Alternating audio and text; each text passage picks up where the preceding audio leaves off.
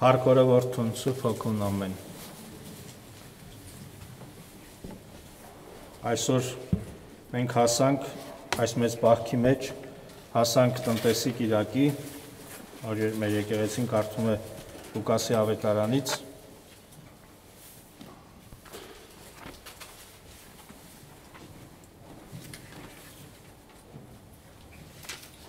16-րդ գլխից Հիսուսն իր աշակերտներին ասաց. «Մի հարուստ մարդ կար, որ մի տնտես ուներ, ում մասին մեղադրանք լսեց, թե իր ունեցվածքը վատնում է։ Եվ նրան կանչեց ու ասաց. «Այս ինչ եմ լսում քո մասին։ Ինչ դուր քո տնտեսության հաշիվը, քանի որ այսուհետև տնտես չես կարող լինել»։ Տնտեսն ինքն իրեն ասաց. «Ինչ անեմ։ Իմ Տերը տնտես լինելուց ինձ ազատում է։ Հերկել չեմ կարող, մուրալ ամաչում եմ։ Ես որոշեցի, թե ինչ պիտի անեմ, որpիսի երբ տնտեսի պաշտոնից հեռացվեմ, ինձ իրենց տներն ընդունեն։ Եվ Տիրոջ պարտատերերին մեկ-մեկ կանչեց իր մոտ ու առաջինն ասաց. «Որքան էս պարտ իմ Տիրոջը»։ Նա էլ ասեց. «100 մարզետ»։ Եվ նրան ասաց. «Վերցրու պարտամուրակդ, նստիր եւ շուտով գրիր 50»։ Հետո մյուսին ասաց. «Դու որքան ես պարտ»։ Նա էլ ասաց. «100 չափ ծորեն»։ Տերն էլ ասաց. «Վերցրու պարտամուրակները եւ գրիր 80»։ Տերը գովեց անիրավ տնտեսին, որ ճարպկությամբ վարվեց, քանի որ այս աշխարհի worth-իները ավելի հնարամիտ են, քան լույսի worth-իները իրենց սերնդի մեջ։ Եվ ես ձեզ ասում եմ, անիրավ մամոնայից բարեկամներ շինեցեք, որ երբ պակասություն ունենաք, հավիտենական բնականների մեջ ընդունեն ձեզ։ Քիչ բանի մեջ հավատարիմ է, շատ բանի մեջ էլ հավատարիմ է եւ քիչ բանի մեջ անիրավը շատ բանի մեջ էլ անիրավ է։ Ոստի եթե դուք անիրավ մամոնայի մեջ հավատարիմ չեղաք, ճշմարիտ հարստությունը ով կտա ձեզ։ Եթե դուք հավատարիմ չեղաք այն բանում, որ ուրիշինն է պատկանում, ձեզ ով կտա այն, ինչ ձերն է։ Ոչ մի ծառա չի կարող երկու տիրոջ ծառայել,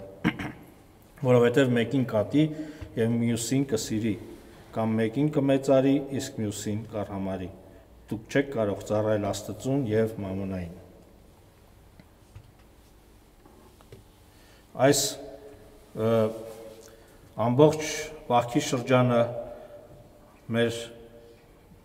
եկեղեցին մեզ լավ հնարավորություն է տալիս նորից ու նորից քննելու մեր կյանքերը եւ տեսնելու թե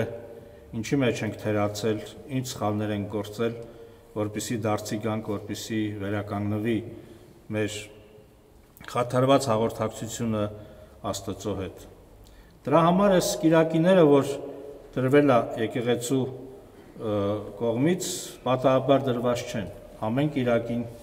իր կարևոր падգամը ունի մեզ հայտնելու։ Եվ առաջի Կիրակին, որ բուն բարեկենթանն էր,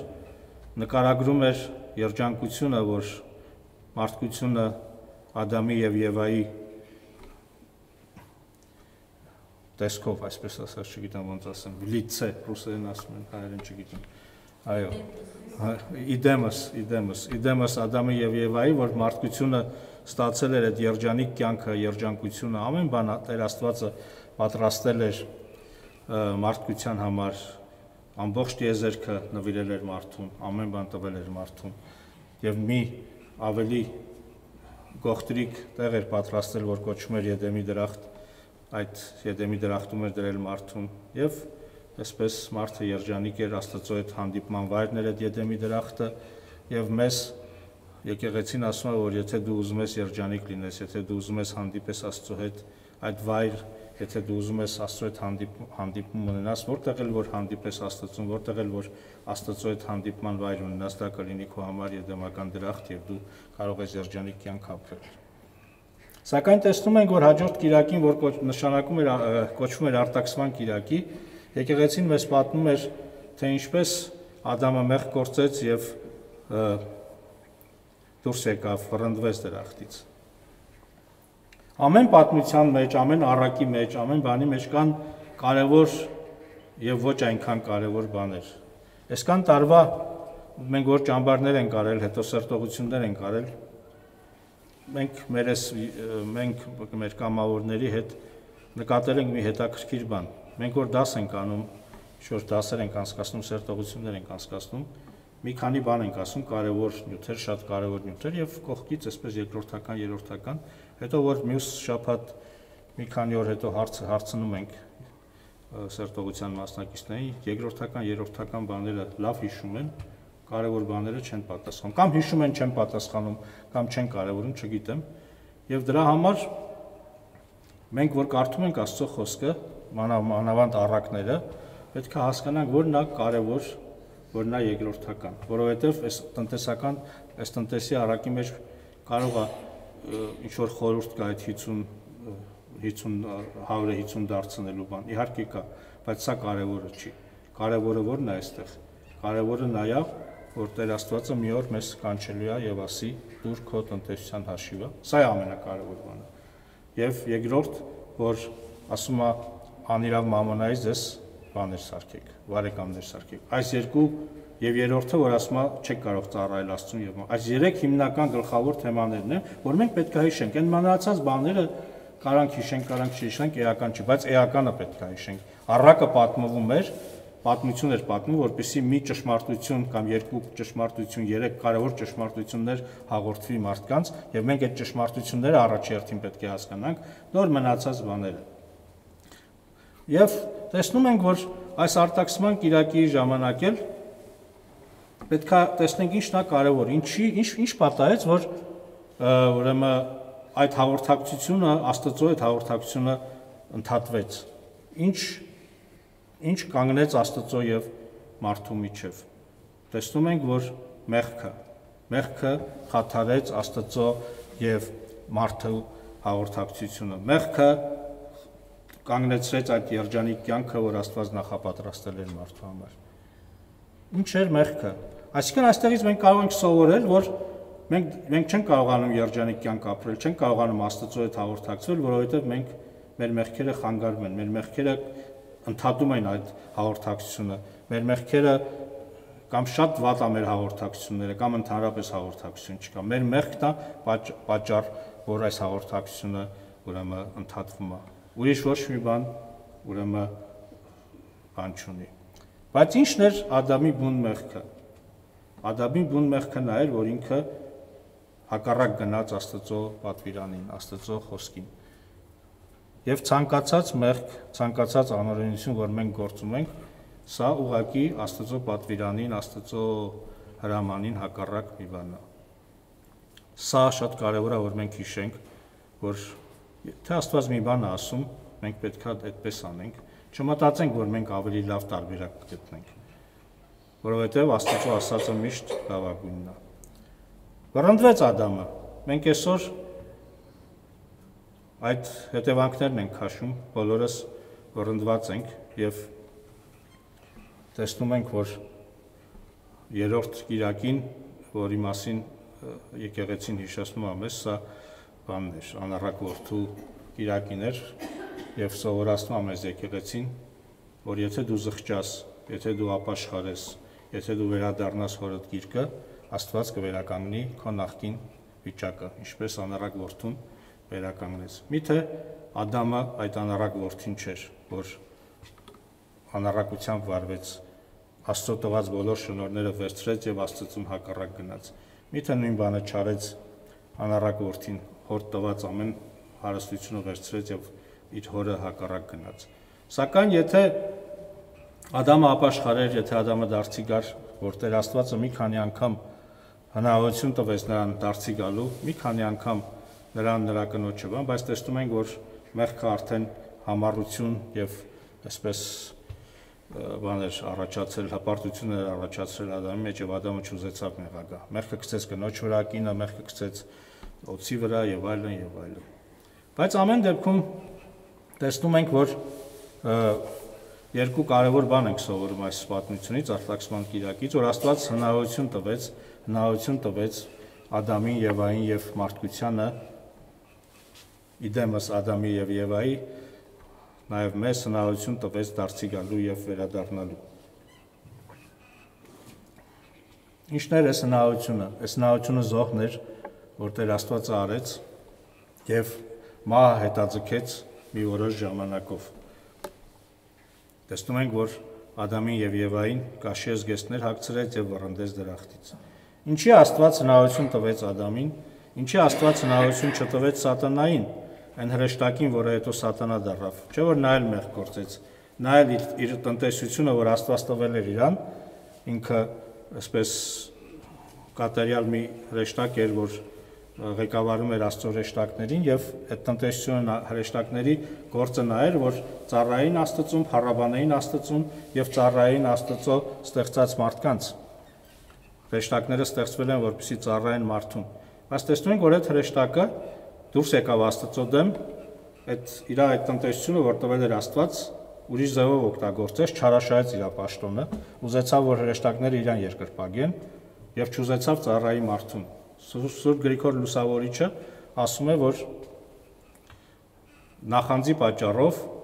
այդ հրեշտակը Ադամ Ադամին եւ Եվայի այդ փառքը տեսնելով, այդ բանը տեսնելով, Աստծո նմանությունը եւ պատկերը տեսնելով նախանձեց եւ ճուզեցավ ծառայի մարդուն, հպարտացավ, ասեց, ես հողեղեն մարդ ով է, որ ես ծառայեմ իրան եւ մեղ գործեց եւ ընկավ։ Ուրեմն տեսնում ենք, որ նորից չպահվեց այդ տնտեսությունը եւ Աստված տալիս է հնարավորություններ, բայց մարդիկ մնացած արարածները, ովքեր որ դուրս են գալի Աստծո խոսքի դեմ, դուրս են գալի Աստծո ծրագրերի դեմ, մեղք են գործում եւ հեռանում են Աստծո ներկայությունից։ Այո, բայց հարցը սա է, ինչի հրեշտակին չներեց եւ չի ներելու, ինչի մարդուն ներեց եւ ներելու է Տեր Աստվածը։ Երկու հիմնական պատճառ կար սրա համար։ Նախ եւ առաջ հրեշտակը ստեղծված էր կատարյալ։ Շատ հաճախ մեզ ասում են, թող Աստված Ադամին անենց ստեղծեր, ունես կատարյալ ստեղծեր,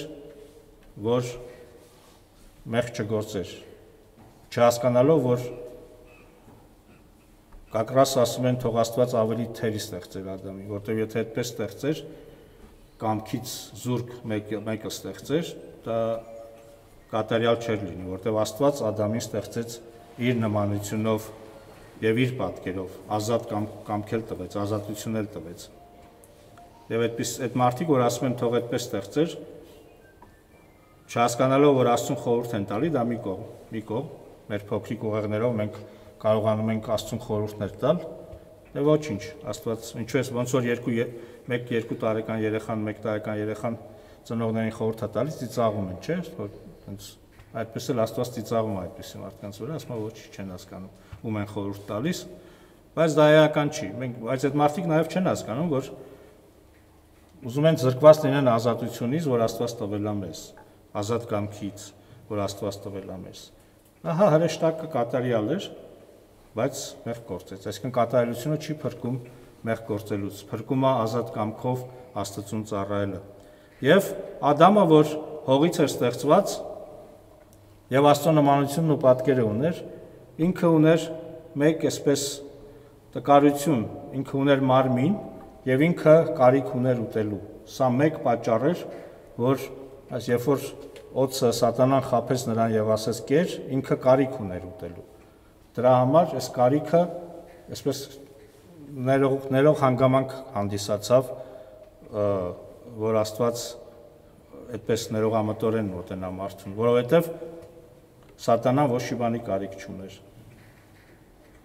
Կարիք ոչ մի բանի կարիք չուներ, ոչ մի պատճառ չուներ մեղ գործելու, բայց մեղ գործեց։ Բայց Ադամը կարծես այս տկարություն ուներ, այս կարիքն ուներ։ Այո, եւ այսպես Աստված բան անում։ Սա այսպես պատճառը վերցնում, որպեսի մարդունների։ Եվ երկրորդ բանը, երկրորդ բանը, որ ամենակարևոր բաներից մեկն էր, սա էր, որ սատանային ոչ մեկ չէր խაფել ինքը իր ազատ ընտրությունով, ինքը իր չարությունից ելնելով ուղակի չարացավ եւ դուրս եկավ Աստծուդեն, բայց Ադամին խափեցին եւ այն խափեցին։ Սա էլ մեկ պատճառ է, որ Աստված տեսնելով, որ մենք խափված ենք, ճիշտ է, մեր կամքով արեցինք, բայց խափված կամք էր էլի դա։ Այսպես Աստված թույլ է տալի, որ մենք ապաշխարենք, դարձի գանք։ Եվ հիմա Աստված սպասում է մեզ, սպասում է, որպեսզի մենք դարձի գանք, ապաշխարենք վերադառնանք, վերադարձնենք այդ հաղորդակցությունը, որ մեր մեղքերի պատճառով խաթարվել է եւ դադարել է այդ հաղորդակցությունը Աստծո եւ մարդկանց միջև, մարդկանց միջև, իմ եւ Աստծո միջև։ Ահա անառակ որդու առակը սրա մասին էր խոսքը։ Շատ մարդիկ կան, որոնք ուզում են վերականգնել իրենց հարաբերությունները հոգևոր աշխարհի հետ, Աստծո հետ, բայց գնում են ոչ օրինական, ոչ Աստծո ուզած ձևերով։ Տարբեր բաներ են հնարում, տարբեր կրոններ են հնարում, տարբեր տեսակի, այո, մենք տեսնում ենք Կայենի պատմությունը, ամբողջ մարդկության պատմությունը, որ մարդիկ իրենք իրենց աստվածներ են հորինում, նաև այս սրա մեջ է մտնում նաև այսպես հոգիներ կանչելը, հոգևոր աշխարհ մտնելը եւ այլ եւ այլն։ Կարծես թե այս բաները կարճ են, կարճ ճանապարհներ են, կարճ բաներ են, բայց սրանք Աստծո ընտրած ճանապարհները չեն եւ Աստված մերժել է այդ ճանապարհները։ Պատկերացրեք, մենք մի հատ լեռան վրա ենք եւ լեռից նայում ենք, այդ ջահերից նայում ենք, մեր տունը շատ մոտիկ է, ասենք ուղիղ գծով ենթադրենք մի 15 մետր է կամ չգիտեմ շայռի իշքան է 50 մետր է ենթադրենք, հա 50 մետր, 100 մետր եւ տրամաբանություն կա սրա մեջ, որ ես իսկ որ լեռնից լեռից ջայրից իջնեմ, ջայրի գլխից իջնեմ եւ հասնեմ մեր տուն, երևի մի 2 կիլոմետր պետքա քայլեմ,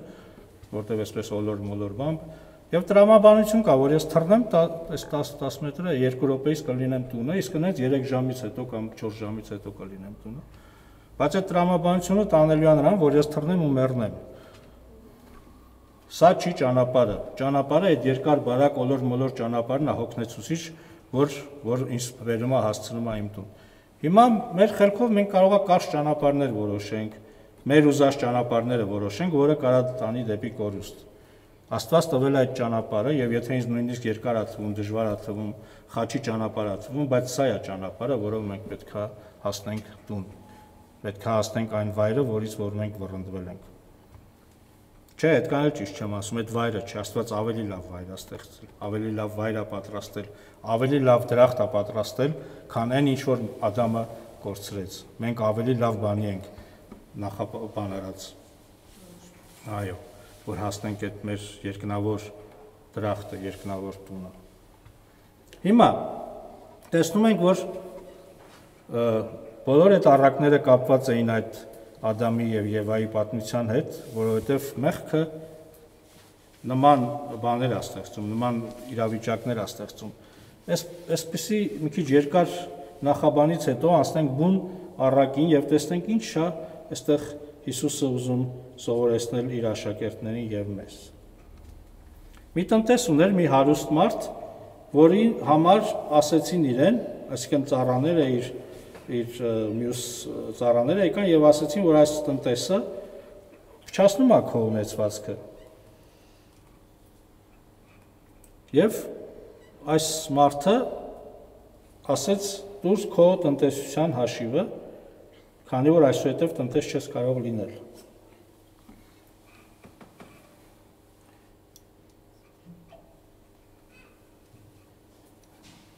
Մի իրավիճակ առաջացավ այս տնտեսի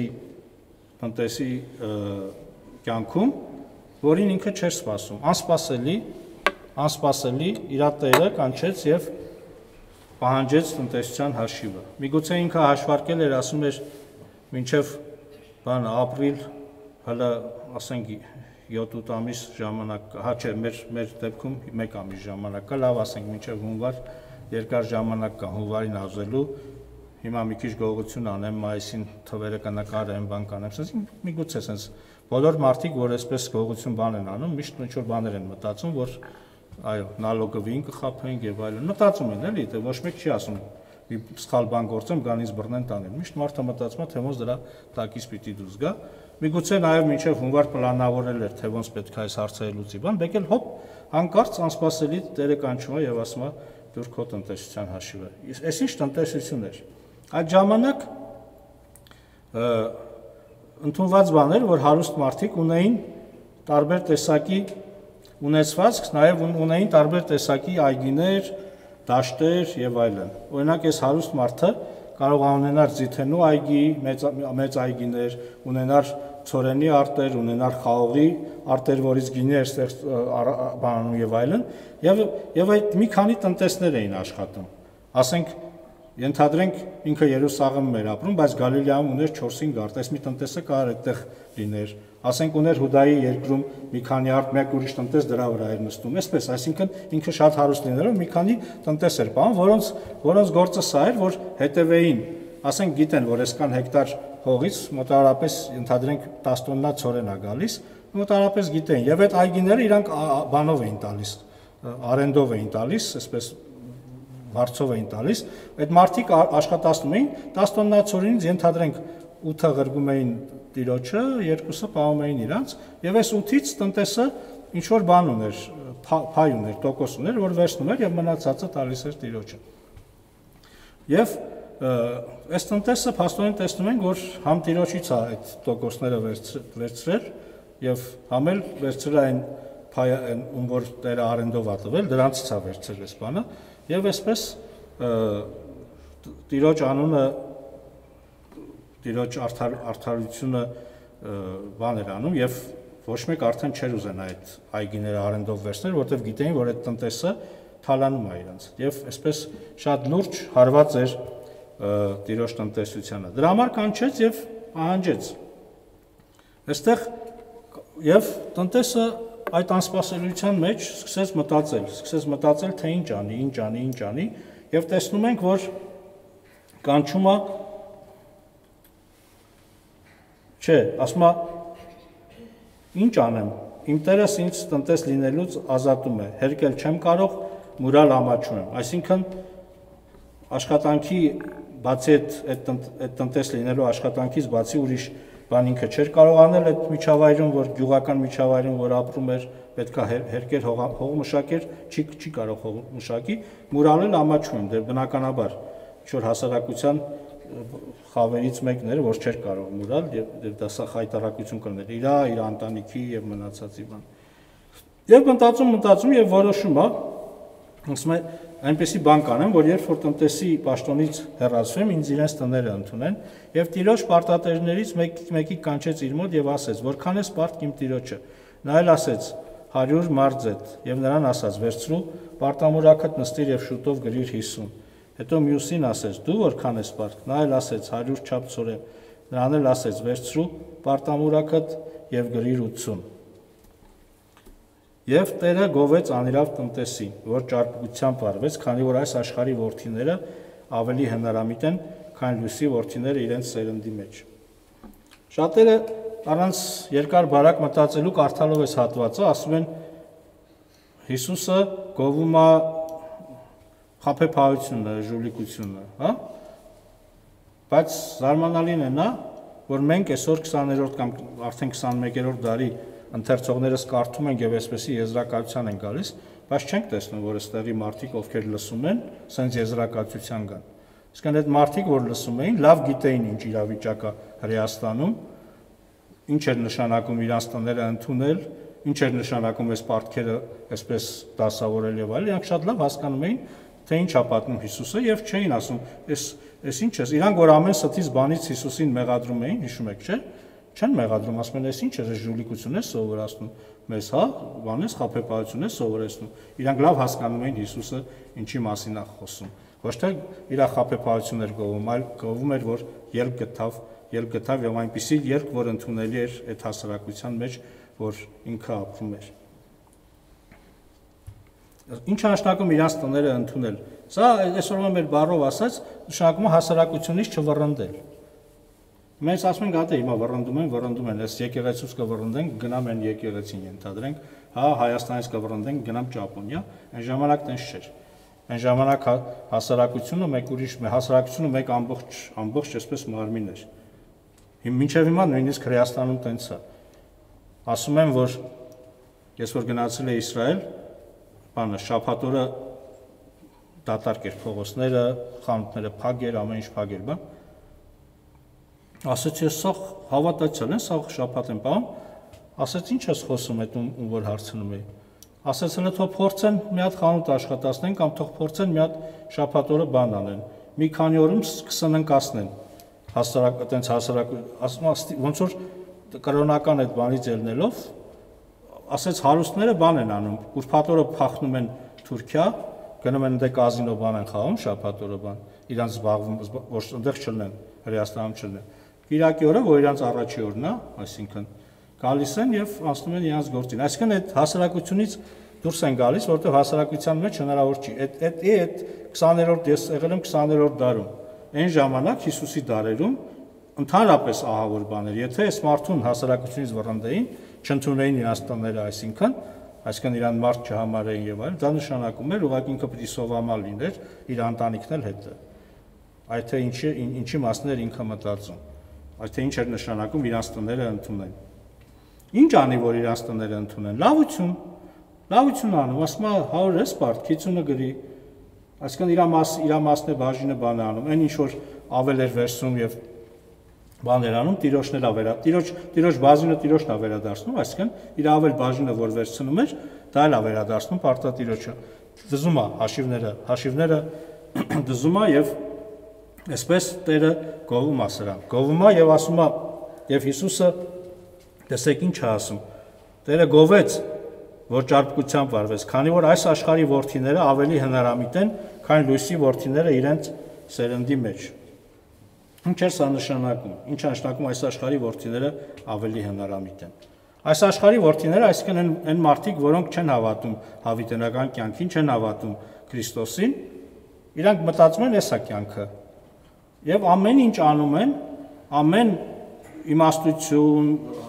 նույնիսկ եթե պետքա ծանր աշխատանք ֆիզիկական բան, ամեն ինչ անում են, որպեսզի ես կյանքում ըստ իրենց մտքի լավ ապրեմ։ Չէ՞ եւ ճարպկությամբ են վարվում, եթե պետքա խափում են եւ ամեն ինչ անում են, այսինքն որպեսզի այս կյանքը լավ ապրի։ Իսկ լույսի ворթիները, որոնք որոնք մենք ենք եւ հավատում ենք հավիտենական կյանքին, ամեն ինչ չեն կանում, որպեսզի մենք մտնենք այդ հավիտենական կյանքը։ Ամեն պատվիրան չի, որ մենք պահում ենք, որ Աստված տվել է։ Մենք այնպես ենք ապրում, կարծես այս կյանքն է ու վերջ։ Մենք էլ այդ աշխարհի ворթիների նման շատ հաճախ ամեն ինչ անում ենք, որպեսզի այս կյանքը լավ լինի մեզ համար, բայց մոռանում ենք հավիտենական կյանքի մասին։ Մոռանում ենք այն դրախտի մասին, որ Տերը պատրաստել է։ Եվ այդ տնտեսությունը, որ Աստված տվել է մեզ, մենք ասես մսխում ենք այս կյանքի համար, մսխում ենք մեր անձնական բաների համար, որովհետև ինչ ինչ որ տվել է մեզ Տեր Աստվածը, դա մերը չի։ Մերը չի։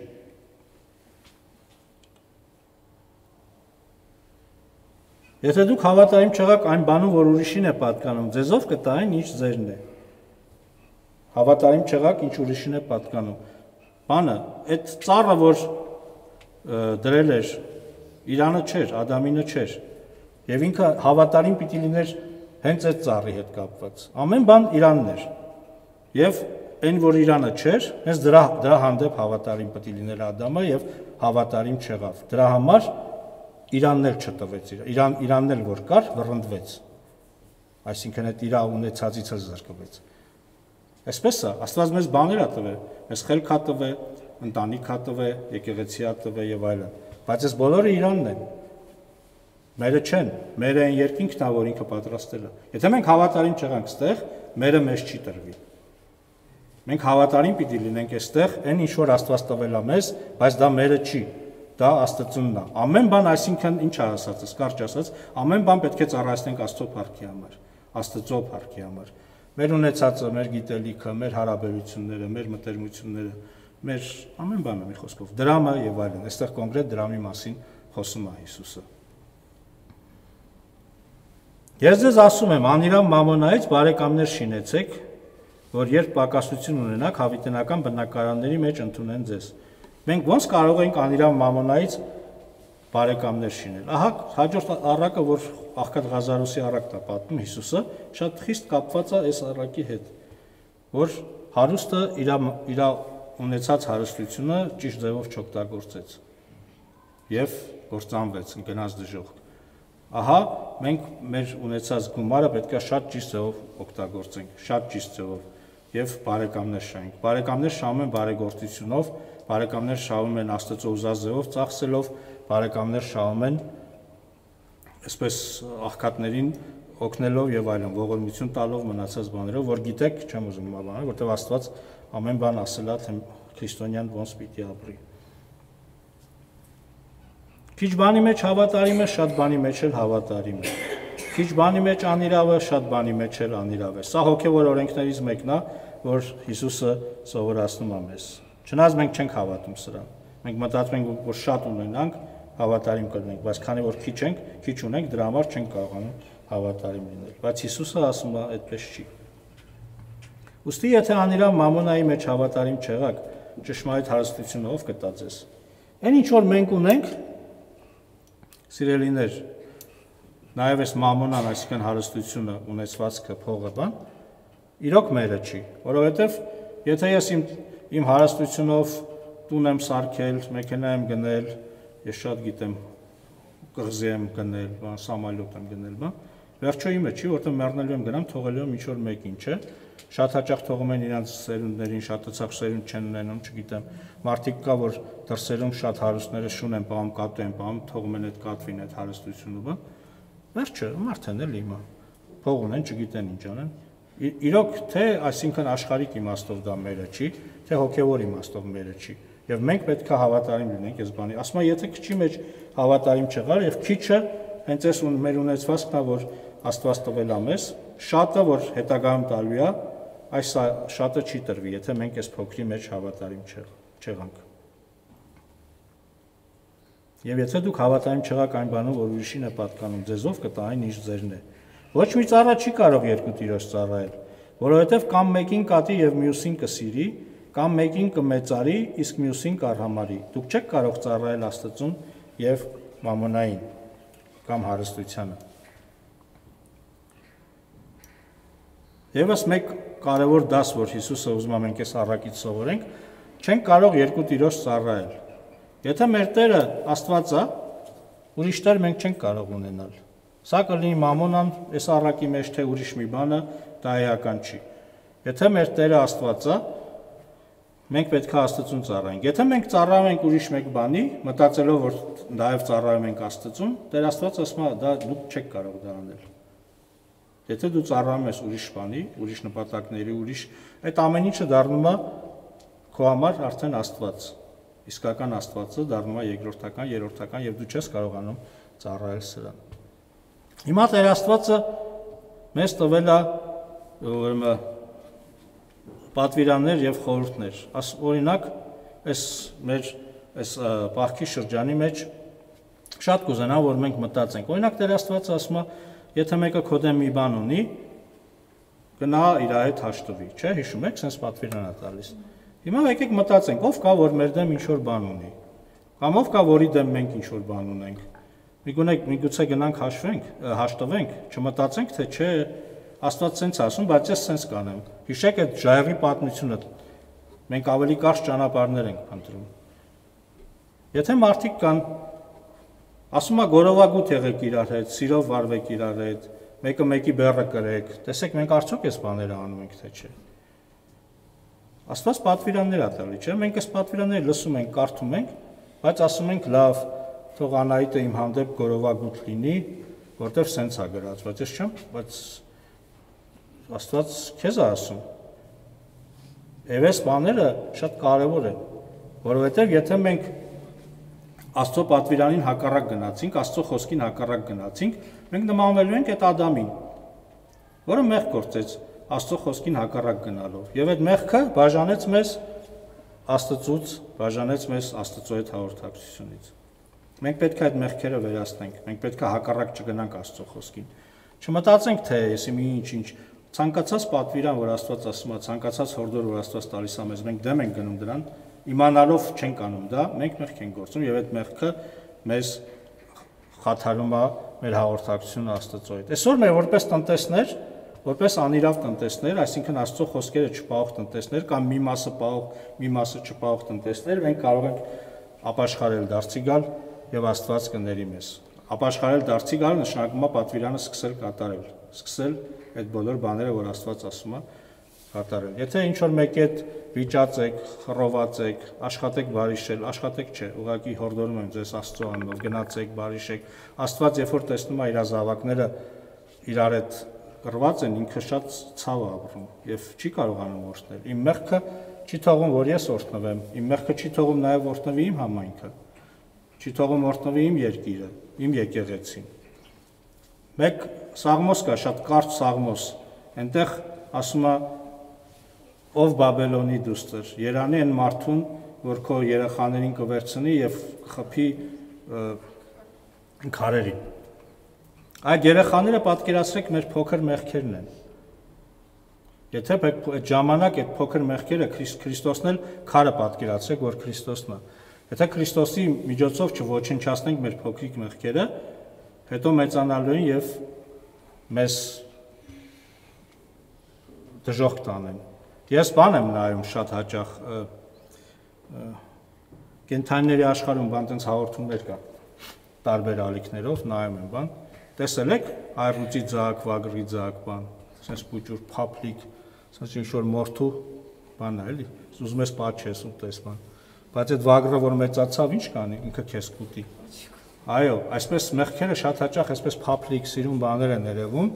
եւ իրոք սիրուն ավագրի ձակ, հաշկերը sense միամիտ բան նայում ես, շատ հաճախ այսպես բան արում, բայց որ մեծանում են, գիշատիչ գազաններ են դառնում, գայլի ձակը բան, ինչ ուզում եք պատկերացրեք, ում ով ինչ սիրում է, ես վագրկատու եմ սիրում, դուք չգիտեմ ինչ եք սիրում։ Եվ այս ձակերը, որ մեծանում են, դառնում են արդեն արյուծ, դառնում են վագր, դառնում են գայլ, դառնում են շակալ եւ սկսում են մեզ հոշոտել ու ուտել մեր հոգեվոր կյանքը, այսինքն։ Եվ Երանի թե փոքր ժամանակ խփենք դրանց սատկացնենք, ոչնչացնենք, որ չմեծանա։ Ահա էսա ասում է Սաղմոսը, ահա էսա ասում է տնտեսի առակը, քանի դեռ ժամանակ կա, քանի դեռ շունչ կա մեր մեջ եւ մենք կարողանում ենք ապրել, Աստված մեզ առաջարկում է մեղքերից հրաժարվել, Աստված առաջարկում է մեզ այս տնտեսի նման մեր բոլոր հաշիվները մաքրել Աստծո հետ, մարդկանց հետ, որpիսի մեզ ընդունեն երկնային օթևանները։ Թող Տերը փառավորվի իր բոլոր զավակների մեջ, թող Տերը փառավորվի մեր եկեղեցու մեջ, թող Տերը փառավորվի մեր եղբայրակցության մեջ, նաև այս վիրուսները, այս հիվանդությունները թող Տիրոջ զորությամբ ոչնչանան։ Թող փառավորվի ամենասուրբ երրորդությունը, Հայրը, Որդին եւ Սուրբ Հոգին։ Ամեն։